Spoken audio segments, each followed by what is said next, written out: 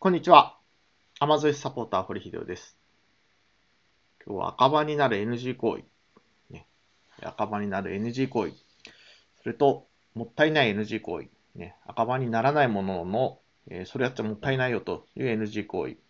それからね、えー大赤字になる NG 行為、まあ、それについてね、えーお話しします。でこれはね、えー過去マニュアルとか動画とかで言ってるんですけど、まあちょっとね、いかんせん、えーマニュアルとか動画、えー非常に項目が多いということでね、えーまあ、サポートメルマガとかをたまたま配信したときに見落としちゃったとか、えあるいはね、え気にしてなかった、見てなかった、ね、そういうのでね、えもったいないことをやっちゃってる、え質問とか確認がたまにあります。そんなわけで、まず今日は項目だけね、これはちょっとすごい目立つようにね、えー動画かなんかマニュアル作った方がいいなと、あるいはね、えーセミナー動画、またはね、解説動画作ろうかなと思うんですけど、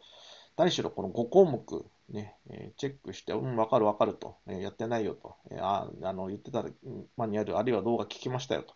いう場合以外で、え何それ、ちょっと知らないんだけど、どういうことというのがあったらね、質問してください。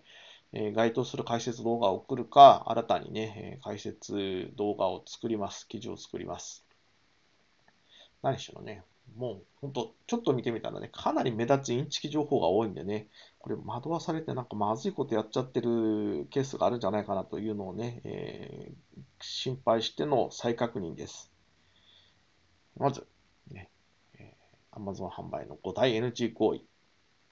アカウント作成を完了しないのは NG。これアカウント一旦作ったらもう完了します。ね、で完了させないのは NG です。で途中でね、やっぱやめますと言ってね、削除しちゃうとかね、削除依頼かける。これも非常にまずいです。まあ、なんでうんぬんっていうのをね、えー各項目ずつ入れていくと、えー非常に長くなっちゃうし、あるいはね、もうアカウントとっくに完了させてる人には関係ない話なんで、項目だけ言っておきますけど、アカウント、ね、作成を完了しないのは NG。2番目、電気を使った商品は NG。3番目、えーレビュー集めは NG。まあ、レビュー集めについてはね、まあ、最近質問があって、これ再確認の記事を作って、まあね、なんでそういうことになるのか、もしかしたらね、間違えた情報を発信している人がいるのかななんて思ったら、まあ結構ね、いい加減な適当な情報を発信している人がね、いつの間にかすごい増えてたという事実がありますんで、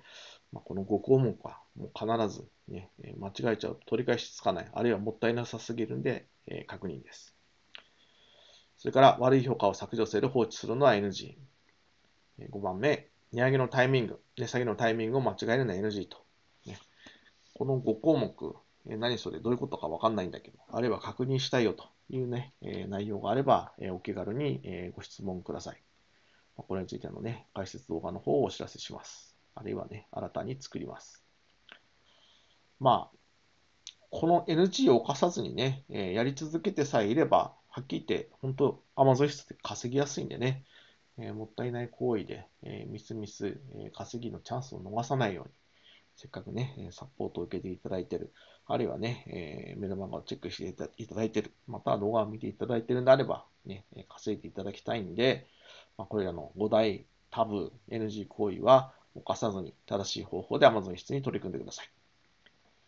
確認、ご質問、ご報告お待ちしてます。Amazon 室サポーター、堀秀夫でした。